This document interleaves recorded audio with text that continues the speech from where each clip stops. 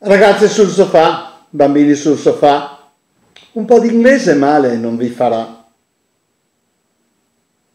Avete visto un disegno, in questo disegno ci sono parecchie cose. E allora su queste cose, se vogliamo fare un po' di compiti di inglese, possiamo giocare. Il disegno e le cose che vi leggerò sono tratte dal libro di Julia Donaldson, un libro di poesie dell'autrice del Gruffalo quindi una delle autrici più conosciute del mondo per l'infanzia.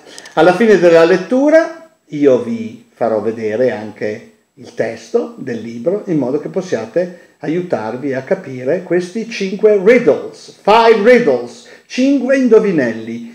Questi indovinelli, per rispondere e correttamente a questi indovinelli, bisogna guardare molto bene il disegno.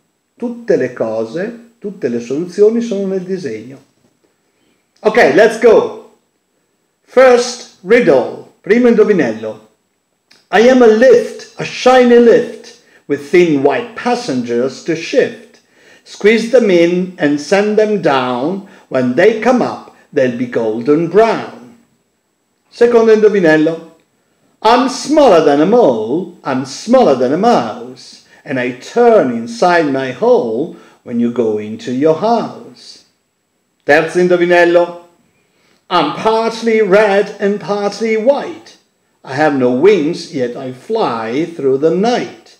I fit in a space that's black and tight.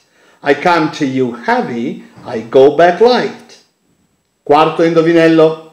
Nippers, grippers, legs in the air. The wind may blow, but we don't care. Nippers, grippers, all in a row, squeeze our legs and we'll let go. Quinto e ultimo indovinello.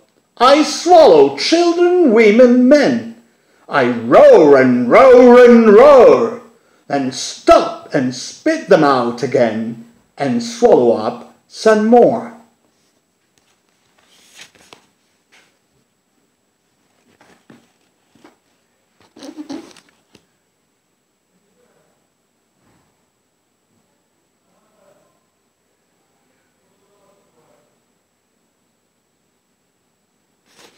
Sì, è un po' complicata la cosa, ma potete farcela, so che potete farcela e fatevi eventualmente aiutare da un dizionario, da papà, mamma, da nonno e la nonna se sanno un po' di inglese.